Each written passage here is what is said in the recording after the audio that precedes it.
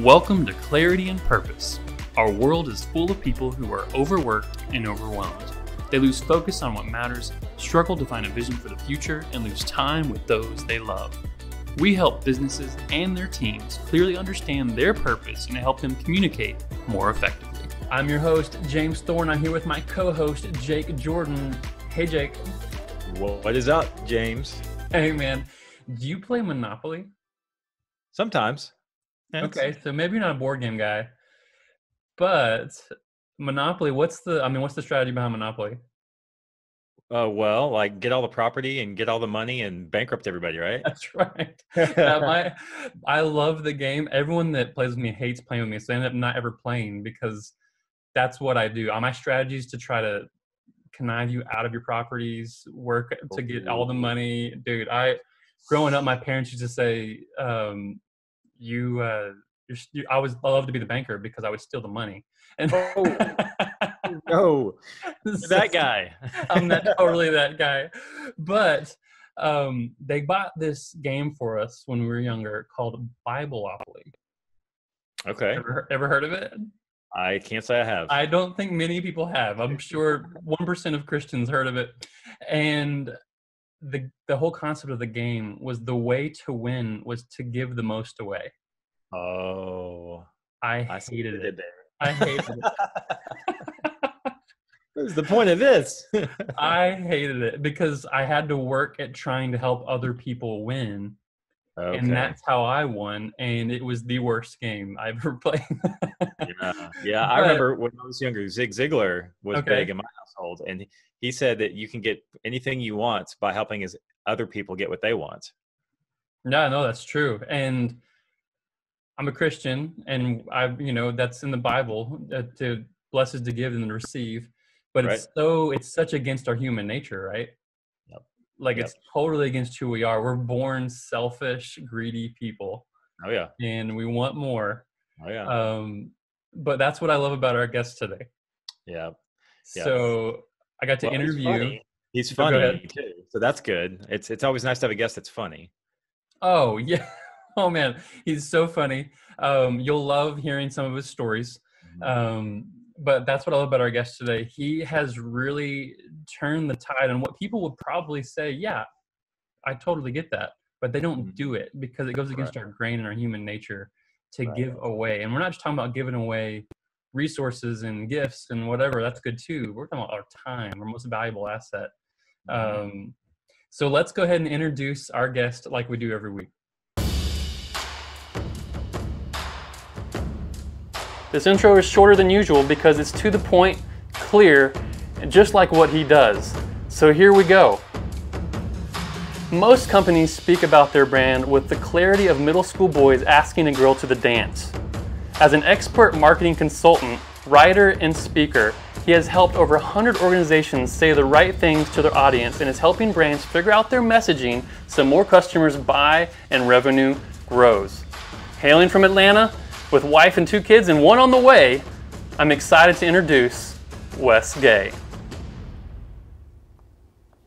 What is up, Wes? Dude, doing oh, you're muted still, I think. Are you muted? Is that you or me? Yeah, that's awkward. Hey, hey doing? He's like, hey, you were just making sure because you were. I, know- I saw you laughing in the background, so you're just making sure it wasn't coming through, which is fine. Yeah, dude, yeah, thanks for joining us. yeah. Thanks for having me. Glad to be here. Yeah, and just so y'all know, which is awesome about this life motto, we literally just met for the first time 30 minutes ago. So we're just now interacting, getting to know each other. So this is a lot of fun. Yeah. Um, all right, Wes. So you could talk about yourself now. Tell us a little bit about you and where, where you come from. Well, uh, yeah. Born and raised in the South. Lived in Florida until I was nine. Lived in South Alabama until I was. Uh, went. I graduated college down there too. Uh, worked for about ten years in the nonprofit space, in churches and nonprofits, and then for the last three and a half years, I've been doing something called the StoryBrand Framework, which you and I were talking about beforehand. You guys are big fans of. That's how I know Chris, one of the folks on your team. uh, helping people. I started in 2016 as one of their copy as a certified copywriter. Now I run one of their certified agencies. Worked with a ton of brands. Worked, was with the company, couple of companies today, even before this call, just helping them figure out what do we need to say so that people buy. I mean, we're in a world where, you know, everything is visual, right? Every you know, Instagram's big, and there's a lot of live videos like this one, and We watch a lot of YouTube content, etc. But never in the history of the world, I think, have words mattered more. I mean, when we're recording, when we're live right now, we've seen it over the last 10 days. What has happened nationally when different leaders, whether it's our president, whether it's been federal leaders, national, state, or state, local, whatever it is, their words have altered the courses of some of these protests and some of the other things going on. And words matter at every level of life. They matter in our marketing and in our business. And if we're going to grow our businesses and make more money, we have got to get the words right. And too many companies just, man, it's a big swing and a miss. So that's what I do. I help brands do that. And we use the StoryBrand framework to make it happen because element storytelling is how the human brain is wired to better receive information. It's how we make sense of the world.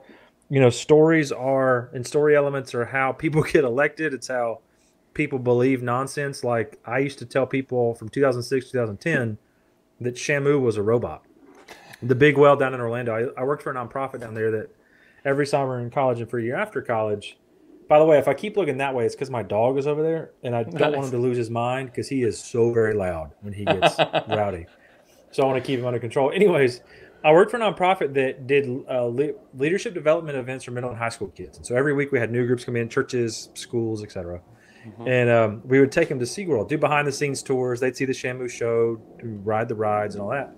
Well, about week four of my first year, I got kind of bored with our routine. And so I'm just going to start telling people that Shamu is the robot. So I concocted this whole story.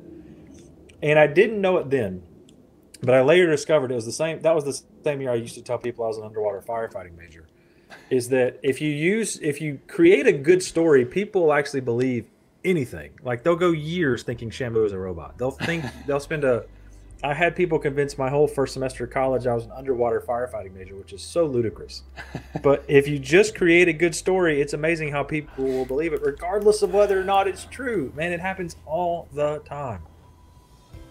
Hey, let's take a quick break from our interview and talk about something a lot of people are going through right now. There are a lot of people that hit a major slowdown during the COVID crisis. Many of our clients came to us and said sales are down and we're looking to have to lay people off, possibly sell buildings or other assets. Is there anything we can do to get momentum back in the business? The good news is the items are actually helping our clients and we wanted to help other people with the advice that we gave them.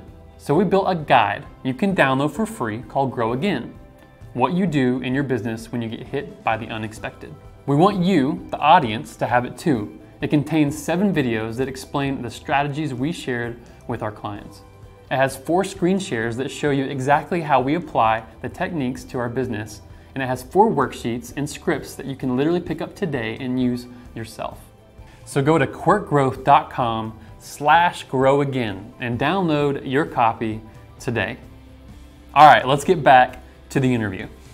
We try our best to see, like, man, what can we do to give away? Um, in this noisy world, how can brands stand out without spending a ton on marketing? Like, what what would you say um, in that theme as far as without spending a ton on marketing?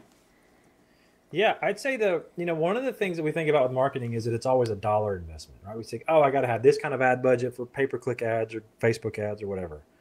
But for a the vast majority of businesses, if you're not even, I would say for the service based businesses, people who are in knowledge work, but even frankly, product businesses, one of the things you can do is if you don't have money, is invest a little bit of time.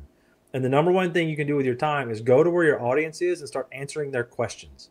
Hmm. Right. So that might be on LinkedIn, it could be on Instagram, it could be on Twitter, it could be on Facebook.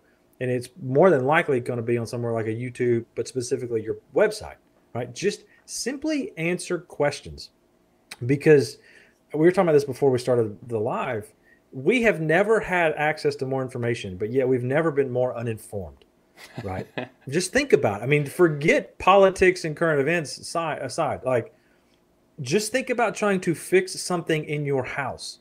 Right? The toilet is making a funny noise, and you can't Google my toilet's making a funny noise. Right? That's not going to help you. It's like we have access to all this information, but we don't want to get to it.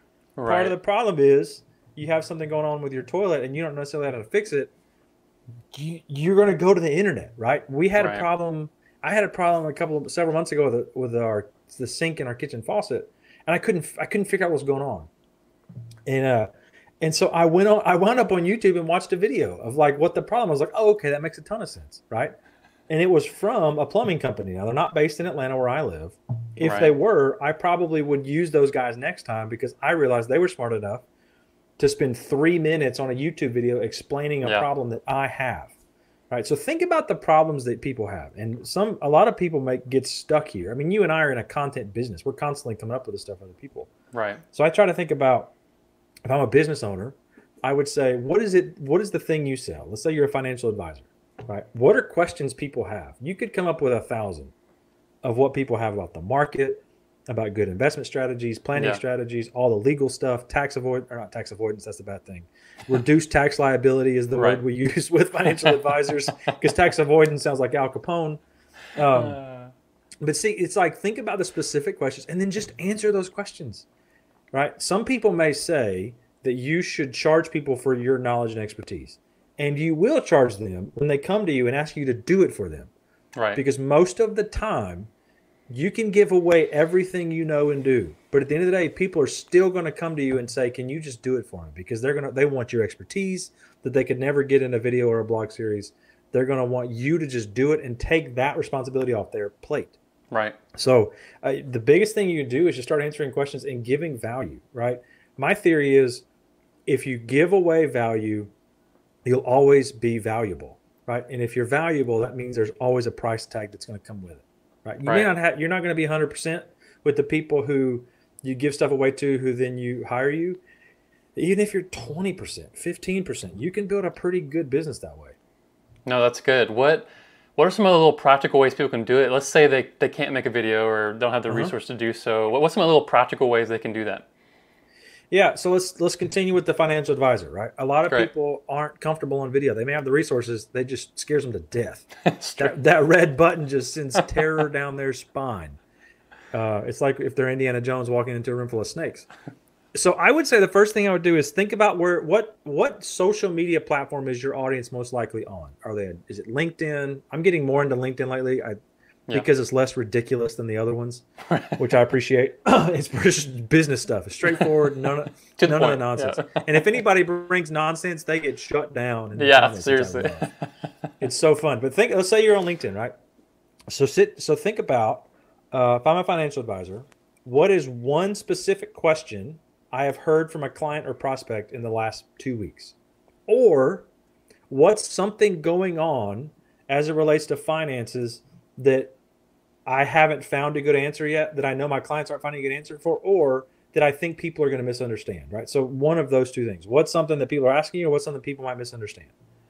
Think of that question and get really clear on the question. So um, I've got a financial advisor in California, Southern California right now, and that's one of the things he and I've talked about every week. He's actually making PowerPoint slides with kind of a weekend review of what in the world just happened. And he's doing he's recording himself on a Zoom call, walking through those slides, and that's it. No camera, nothing. Just explaining stuff and then sending that to his clients.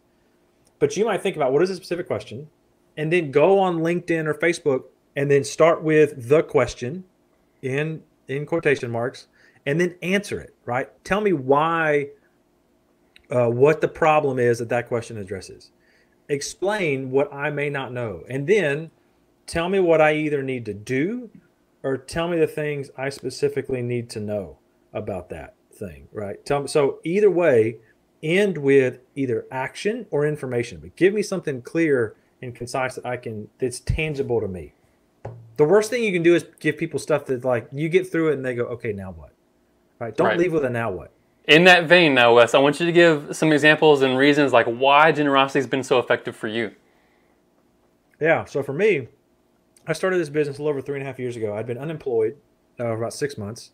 I was we were talking about before the call. It just hit me today. I was in the middle of the greatest economy in the history of the world, and I couldn't get a job. That is that is an embarrassing reality, and it's really unfortunate. So anyways, I started a brand new job, or I started basically my own business in a thing I had never done before, which is working for myself, specifically with marketing and copywriting. I'd always been worked in nonprofits and churches, and so I needed a way to promote myself and show that I was, as we talk about a lot, the guide. I had the authority and the expertise to help people, but I didn't have the the portfolio. I didn't have the background, and so I thought, how do I do that? Right? How do I build that? Well, what if I just do it for people? What if I just instead of telling them why they should hire me, I just show them?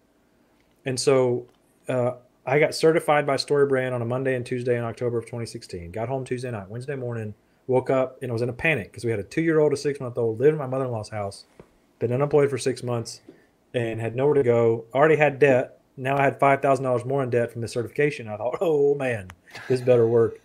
So I get up on that Wednesday morning, and I log into Slack. There was a Slack workplace for anybody who had gone through a StoryBrand event at that point, and there was a channel in there called Peer Feedback. And I thought, well, voila, this these are my people. These are people asking about their websites, their emails, their lead magnets, their one-liners, all that stuff. And I am now uniquely qualified by by the power vested in StoryBrand as one of their certified people. And so I just started to show up and I was like, I'm just going to answer their questions. I don't want to be that sleazy sales guy. I've never been a pushy sales guy. That's just not me. It, it annoys me. So I know it annoys other people and I just don't want to be what annoys me. And so I just started answering questions. That was it. And within a three days or a week, I had a client and I quoted that client more than almost as much as I'd ever made in a month. And I almost passed out when she said yes. Looking back, she said yes too fast, so I didn't charge enough but that is that's another that's another Facebook. we all learn. We all learn. and then within six weeks, I had six different. Uh, I had six clients. I was we were blown and going full time, and it just took off. That's but I learned the more I just answer people's questions, the more I just tell them what they need to know. I mean, mm-hmm. literally today, I was on two Zoom calls with people, and I walked them through their home pages and said, if you hired, literally, if you hired me, here's exactly what I would do, and here's exactly what your website would say, and here's how exactly how I'd lay it out. Now, could do we charge people to do that for them? Yeah, right. Did I spend in 45 minutes or an hour today doing that for two people? Yeah. Are they going to become clients? Probably not. Oh well. Like I gave them great value. I tried to serve them as best I could. If it comes back and they hire me, great. Yeah. If not, I'm going to keep doing it because I know it works. You you get a chance to demonstrate your skills in a world where in a social media world where everybody is screaming about how great they are at stuff we need people to just start showing others how good they are at stuff. Yeah. Don't just post on Instagram or Facebook about it. Literally show me the work you're doing and explain it to me and walk me through it and demonstrate your skills. You're going to get much further than going any other way. That's good. That's really good. Well, Wes, that was that was fun. yeah, it was. I feel like it was fun. Um, okay, I'm gonna plug what you mentioned again earlier. I'm gonna actually show the screen with your websites on it. Um, okay, mm-hmm. wesgay.com. Okay, guys, and then hirewayfinder.com. Just check out either one of those. Um, connect with Wes, and what he's doing is anyone who watches this video, you shoot him an email, wes at wesgay.com. Send him any collateral you want him to look at. It could be a mm-hmm. website. It could be a print piece. Um, it could be a uh, PowerPoint. Whatever, whatever you're thinking might be helpful for your business today, send that to him, and he's going to review it absolutely free. So I would do that because it's great. Um, and he he does what we do, and we say go to Wes, guys. He's incredible. So um, well, I'm, I'm excited to see what this does for you, but also for us to stay connected. Um, I'm glad that Chris brought us together. Um, but is there anything else that you want to share in this vein or with the audience? I don't think so. I mean, again, okay. send me an email. I'll review anything you got. I'm glad to help you any way I can. Cool. Well, guys, uh, there's no point going any longer if we've made our point because I think that it was great. So get out there, put some content in front of people, start giving things mm-hmm. away. Let us know how it works because we know it's going to. Wes, this is the fun part. We get to close out in a dance. So this is he was very excited about this when I told him. So we're excited to do this. I am I am ready to perform the hitch. is what I call it. Just stay right here. All right, here we go, and there it is. There it is. You don't need no. You don't need no pizza. You I got food there. James, I told you, Shamu is a robot. Dude, I, I love Shamu. I was so sad to hear that. yeah, yeah, but, but that's the know, power story, right? It is. It is, man. And and I've been there. I've been multiple times in my life. People have told me things, or I've actually been on the the giving end of just like coming up with a whopper, and people believe you. Like totally true. Crazy, man. Yeah, story's powerful. It's what we do. I mean, we're helping our clients really create a story for their business, uh, for people to jump into that journey with them. Um, but I, I think the most powerful piece to me still is just going back to that, like giving of your time and your resources, mm-hmm. really asking yourself, what is it that I can do for someone else today? Maybe it's taking an hour like he does daily to just spend with mm-hmm. someone and totally do what he would do for people to pay. And that's you know we we think of that strategically, even being in advertising and marketing, where we're like, okay, we're going to not give away what we would sell, but we're going to give away some knowledge, and then then they come bring us to actually do the work. But he's like, let's just do the work for an hour. I'm going to show you what to do. So that's right. powerful. I think what's cool about that too is, uh, you know, like if you really think about people and human nature, is people just want you to do stuff for them. So you can tell them everything. You can open the kimono and give them the whole thing, and it's like that's really awesome. Can you just do it for me? Right. So I love that. Like, let's just do it and then give pieces away. So uh, I hope that was meaningful for you. I hope you got something from that today. We love Wes Gay. I'm glad to have him on the interview. But hey, if you're watching on YouTube, make sure you subscribe, hit that little bell, that little ding, ding, ding. Make sure you know when these things drop every week. But uh, we're so glad you're here and joining with us every week. But thank you so much for joining us every week. Where hey, we believe when a business leader aligns their team with their message, they become unstoppable.